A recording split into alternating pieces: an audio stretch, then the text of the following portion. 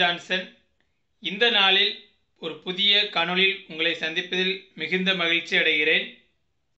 இன்னைக்கு நம்ம ஒரு சூப்பரான தகவல் பார்க்க இருக்கிறோம். என்ன தகவல் பார்க்க இருக்கிறோம்னா கலைஞருடைய கனவு இல்லம் திட்டத்திற்கு இது வரைக்கும் எந்தெந்த மாவட்டத்தில் சிறப்பு கிராம சபை கூட்டங்கள் நடந்து முடிந்திருக்கு இன்னைக்கு எந்த மாவட்டத்தில் நடந்துச்சு இன்னும் ஜூலை மாசத்துல எந்தெந்த மாவட்டங்களில் நடக்க இருக்குது கலைஞரின் கனவு இல்ல திட்டத்திற்கு பயனாளிகளை தேர்ந்தெடுப்பதற்கு அரசாணைகள் எதுவும் உள்ளதா அப்புறம் வீடுகளை பழுது பார்ப்பதற்கும் அந்த பயனாளிகளை தேர்ந்தெடுப்பதற்கு அரசாணைகள் எதுவும் உள்ளதா?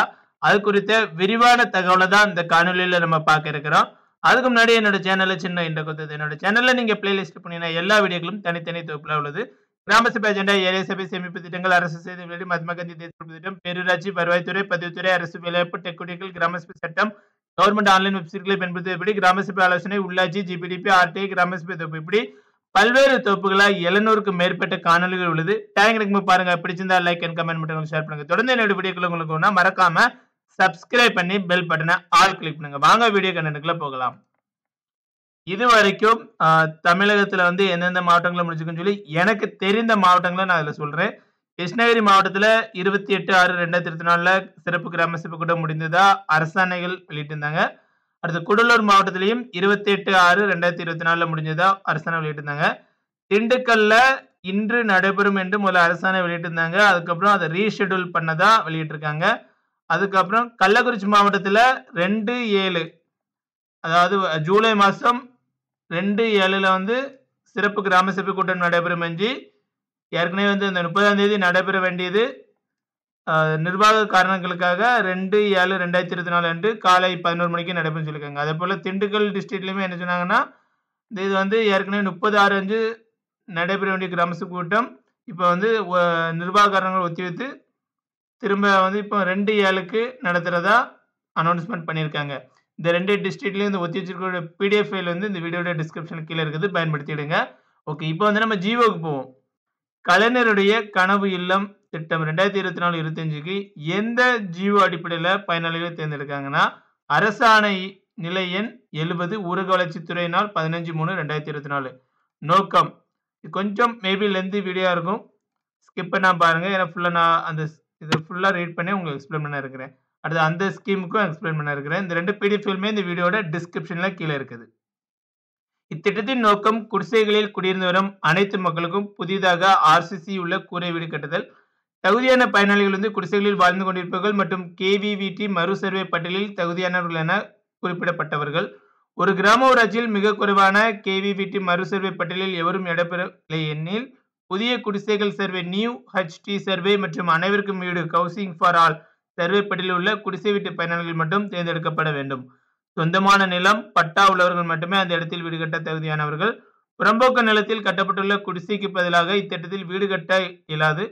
புறம்போக்கு இடம் ஆட்சேபனை அச்சது என வருவாய்த்துறையால் முறைப்படுத்தப்பட்டிருந்தால் ஏற்றுக்கொள்ளலாம். கோவில் நிலத்தில் வசிப்பவர்களுக்கு இந்து சமய அறநிலைத்துறையின் தடையில்லா சான்று பெற்று அனுமதிக்கலாம். ஆச்ச பேனையற்ற இடங்களில் வசிக்கும் குடும்பங்களுக்கு பட்டா வழங்க நடவடிக்கை மேற்கொள்ள வேண்டும். ஆட்சேபனைக்குரிய புறம்போக்கு இடங்களில் வசிக்கும் குடும்பங்களுக்கு தகுதியான இடம் தேர்வு செய்து பட்டா வழங்க நடவடிக்கை மேற்கொள்ள வேண்டும். நிலமற்ற குடும்பங்களுக்கு பட்டா வழங்குவது குறித்து மாவட்ட ஆட்சியரின் தலைமையில் வாரந்தோறும் ஆய்வுக் கூட்டம் நடத்தப்பட வேண்டும். தகுதியற்ற பயனாளிகள் வாடகை கூ- வாடகை குடிசை வீட்டில் குடி குடியிருப்பவர்கள் தகுதியற்றவர்கள் வணிக நோக்கத்திற்காக விலங்குகளுக்காக பயன்படுத்தப்படும் குடிசைகள் தகுதியற்றவை. குடிசையில் ஒரு பகுதி ஆர்சிசி ஓடு ஆஸ்பிஸ்டால் சீட் உலோக தகட்டால் ஆனதால் இருந்தால் தகுதியற்றவை.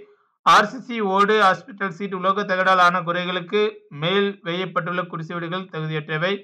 சொந்தமாக வீடு உள்ளவர்கள் தகுதியற்றவர்கள் அரசு பணியாளர்கள் அதாவது பகுதி நேர தொகுப்புதிய தினக்கூலி பயனாளிகள் தவிர உள்ளாட்சி பணியாளர்கள் பொது நிறுவன பணியாளர்கள் அரசாங்க உதவி பெறும் நிறுவனங்களில் பணிபுரியும் பணியாளர்கள் வாரியத்தில் பணிபுரியும் பணியாளர்கள் மற்றும் அவர்களது குடும்பத்தின் குடிசை வீடுகளில் குடியிருந்தாலும் தகுதியற்றவர்கள். பயனாளிகள் தேர்வு செய்யும் முறை.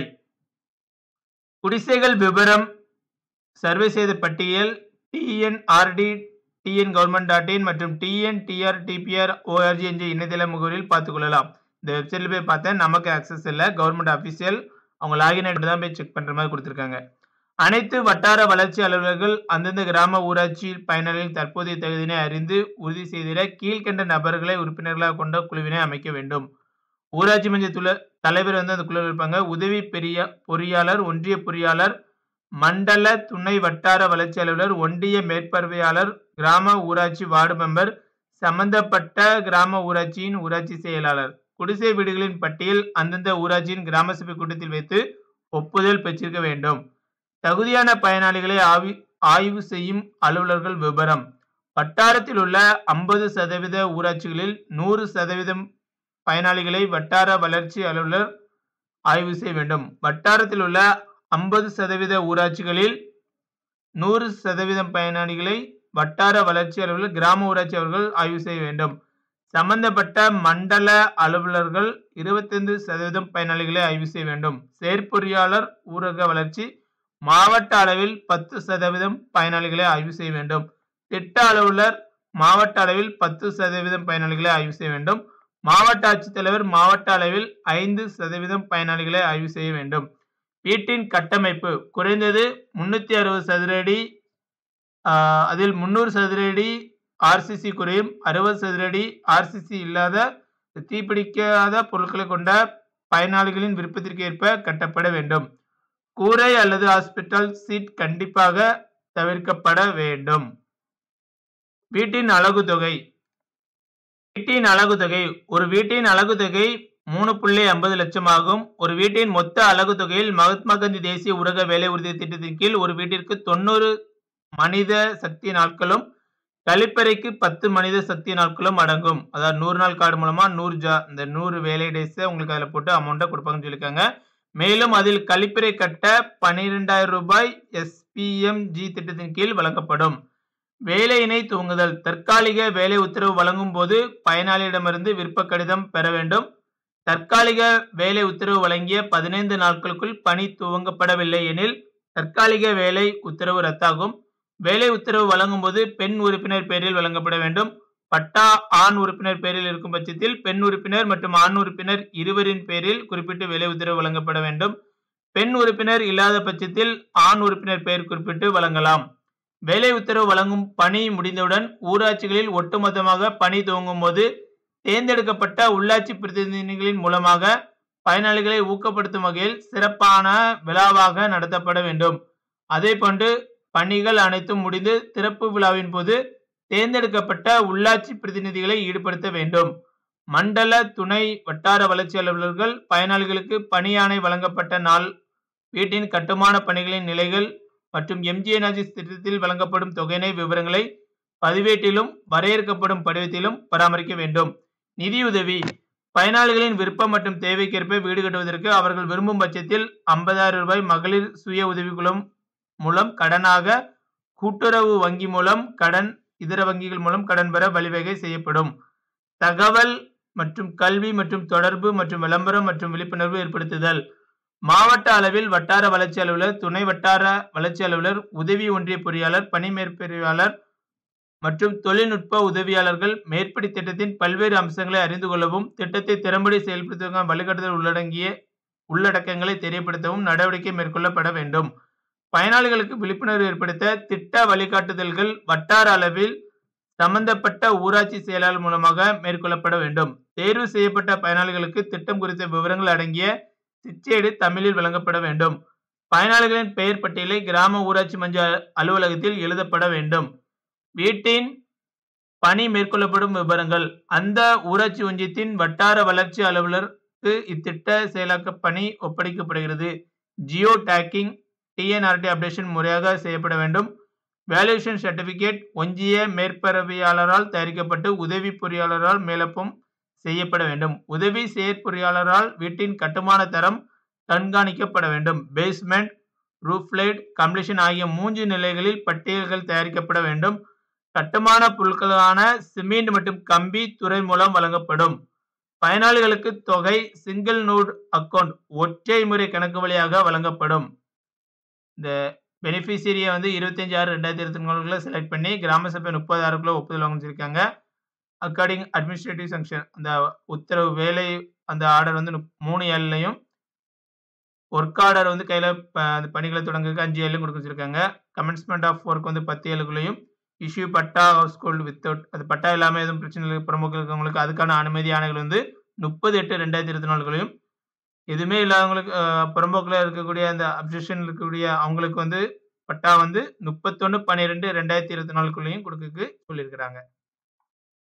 இந்த பிடிஎஃப்ல இருந்து இந்த வீடியோட டிஸ்கிரிப்ஷன்ல கீழே இருக்குது. இப்போ நம்ம அடுத்தது பார்க்க இருக்கிறது வந்து பழுதடைந்த வீடுகளை சீரமைக்கிறதுக்காக அரசு எவ்வளவு ரூபாய் நிதி வழங்குது? அதை பார்க்க இருக்கிறோம்.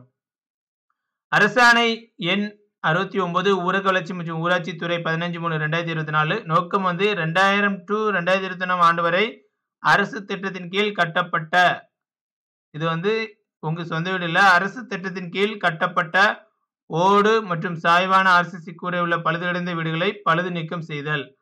தகுதியான பயனாளிகள் ரெண்டாயிரம் டு ரெண்டாயிரத்தி ஒன்றாம் ஆண்டு வரை அரசு திட்டத்தின் கீழ் கட்டப்பட்ட ஓடு மற்றும் சாய்வான ஆர்சிசி கூரை உள்ள பழுதடைந்த வீடுகள் மட்டுமே பழுது நீக்கம் செய்ய தகுதியானவை. அரசு திட்டத்தின் கீழ் எந்த பயனாளிக்கு வீடு ஒதுக்கப்பட்டதோ அவருடைய பெயரிலே அல்லது அவருடைய வாரிசுடைய பெயரிலோ பயனாளி இறந்த நிலையில் மட்டும் உள்ள அந்த வாரிசு பெயர்களில் பழுதான வீடுகள் மட்டும் இத்திட்டத்தின் கீழ் தகுதியானவை.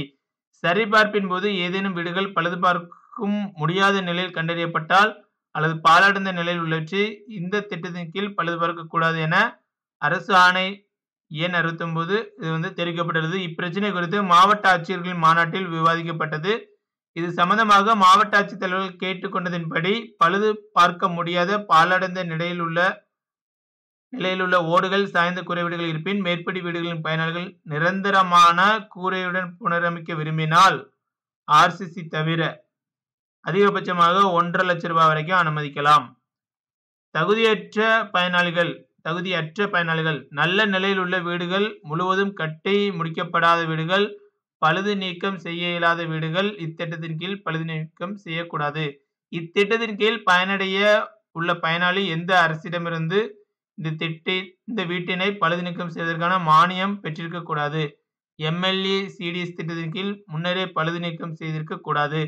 சொந்தமாக வீடு உள்ளவர்கள் இத்திட்டத்தின் கீழ் பயன்பெற முடியாது.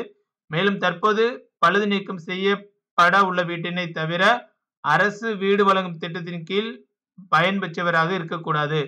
பயனாளி அரசு ஊழியராக இருக்கக்கூடாது. வேறு நபருக்கு விற்கப்பட்ட வீடுகள் வாடகைக்கு விடப்பட்ட வீடுகள் வாரிசு அல்லாமல் வேறு நபர்கள் குடியிருக்கும் வீடுகள் இத்திட்டத்தின் கீழ் தகுதியற்றவை.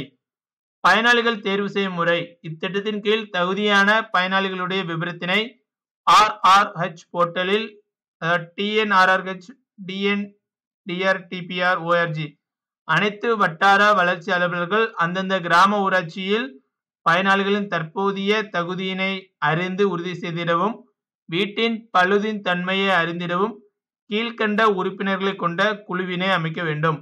ஊராட்சி மஞ்சள் தலைவர் உதவி பொறியாளர் மண்டல துணை வட்டார வளர்ச்சி அலுவலர் ஒன்றிய மேற்பார்வையாளர் கிராம ஊராட்சி வார்டு மெம்பர் சம்பந்தப்பட்ட கிராம ஊராட்சியின் ஊராட்சி செயலாளர்.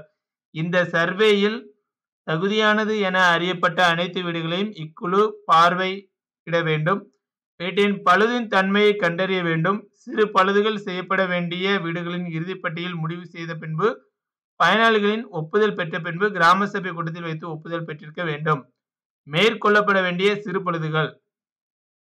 சுவர்களில் உள்ள சிறு விரிசல்கள் தரையில் உள்ள ஓட்டைகள் சீலிங் புச்சில் உள்ள பேச்சல் பேச்சலோட்ஸ் பேட்ச் ஒர்க் கதவு மற்றும் ஜன்னல்கள் பழுது நீக்கம் செய்தல் மாற்றி அமைத்தல் கூரையின் மேற்பரப்பில் வெதரிங் கோர்ஸ் மற்றும் தட்டோடு பழுது நீக்கம் செய்தல் வீட்டின் உட்புற மற்றும் வெளிப்புற சுவர்களில் பூச்சி பழுது நீக்கம் செய்தல் கழிப்பறை பழுது நீக்கம் செய்தல் வெள்ளை அடித்தல் வர்ணம் பூசுதல் மற்றும் சிறு பழுதுகள் மேற்கொள்ளப்பட வேண்டிய பெரும் பழுதுகள் ஓட்டு கட்டிடத்தில் உள்ள ஓடுகள் மற்றும் ரெஃப்டர்ஸ் மாற்றுதல் சாய்தளமான ஆர்சிசி குறைமட்ட கட்டிடங்களில் கூரையினை மாற்றுதல் தர அமைத்தல் சுவர்களில் உள்ள பெரிய விரிசல்களை பழுது நீக்கம் செய்தல் கதவு மற்றும் ஜன்னல்கள் பழுது நீக்கம் செய்தல் வெள்ளை அடித்தல் மற்றும் வர்ணம் பூசுதல்.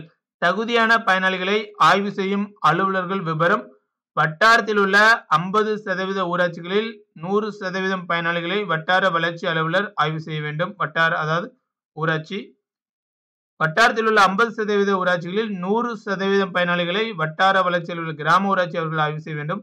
சம்பந்தப்பட்ட மண்டல அலுவலர்கள் இருபத்தி ஐந்து சதவீதம் பயனாளிகளை ஆய்வு செய்ய வேண்டும்.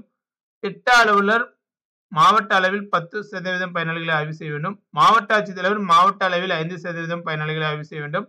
திட்ட செயலாக்கம். அந்தந்த ஊராட்சி ஒன்றியத்தின் வட்டார வளர்ச்சி அலுவலர் வட்டார ஊராட்சிக்கு திட்ட செயலாக்க பணி ஒப்படைக்கப்படுகிறது. வேலை உத்தரவு வழங்கும் போது பயனாளியிடமிருந்து விருப்ப கடிதம் பெற வேண்டும். ஜியோ டேக்கிங் டிஎன்ஆர்டி அப்டேஷன் முறையாக செய்யப்பட வேண்டும்.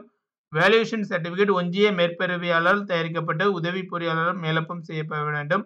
உதவி செயற்பொறியாளரால் வீட்டின் பழுது நீக்க பணியின் தரம் கண்காணிக்கப்பட வேண்டும். இரண்டு தவணைகளில் நிதி விடுவிக்கப்படும். கட்டுமான பொருட்களுக்கான சிமெண்ட் மற்றும் கம்பி துறை மூலம் வழங்கப்படும். பயனாளிகளுக்கு தொகை சிங்கிள் நோடு அக்கௌண்ட் ஒற்றை முறை கணக்கு வழியாக வழங்கப்படும். நிதி ஒதுக்கீட்டு விவரம். சிறு பழுதுகள் மேற்கொள்ள ஓட்டு மேற்கூரை கட்டிடத்திற்கு உண்மையான மதிப்பீட்டு தொகை அல்லது முப்பத்தி ரெண்டாயிரம் ரூபாய். இதில் எது குறைவோ அத்தொகை எடுத்துக்கொள்ளப்பட வேண்டும். சாய்வான கூரை கட்டிடத்திற்கு உண்மையான மதிப்பீட்டு தொகை அல்லது ஐம்பத்தைந்தாயிரம் ரூபாய் வரை இதில் எது குறைவாக எடுத்துக்கொள்ள வேண்டும்? பெரும் பழுதுகள் மேற்கொள்ள ஓட்டு மேற்கூரை கட்டிடத்திற்கு உண்மையான மதிப்பீட்டு தொகை அல்லது எழுபதாயிரம் ரூபாய். இதில் எது குறைவோ அத்தொகை எடுத்துக்கொள்ளப்பட வேண்டும். சாய்வான கூரை கட்டிடத்திற்கு உண்மையான மதிப்பீட்டு தொகை அல்லது ஒன்றரை லட்சம் ரூபாய் இதில் எது குறைவோ அத்தொகை எடுத்துக்கொள்ளப்பட வேண்டும். இதில் ஃபைனலைசேஷன் பெனிஃபிஷரியை வந்து இருபத்தஞ்சு ஆறுக்குள்ள செலக்ட் பண்ணி கிராம சபா முப்பதாயிரம் ஒப்புதல் வாங்கி இஷ்யூ ஆர்டர் வந்து அஞ்சு ஆளுக்குள்ள ரெண்டாயிரத்தி இருபத்தி நாலுக்குள்ள சரி பண்ணி இந்த ஆர்டர்லாம் கொடுத்துருக்கணும். பயனாளிகளுக்கு ஒர்க் வந்து பத்து ஏழில் ஸ்டார்ட் பண்ற மாதிரி கொடுத்துருக்காங்க. இந்த அரசாணையும் இந்த வீடியோட டிஸ்கிரிப்ஷன்ல கீழே இருக்குது. ஸோ உங்க பகுதிகளில் இந்த அரசாணைகளை பின்பற்றாமல் அரசாணைக்கு மாற்றாக தகுதியற்ற பயனாளிகளை அவங்க தேர்ந்தெடுத்தாங்கன்னா இந்த அரசாணைகளை இணைத்து புகார் வந்து இதில் ஏற்கனவே குறிப்பிட்டிருக்காங்கள யாருக்கெல்லாம் சொல்லி.